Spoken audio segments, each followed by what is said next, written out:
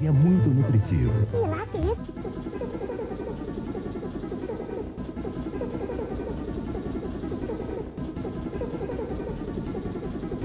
Contém ovos e é muito nutritivo.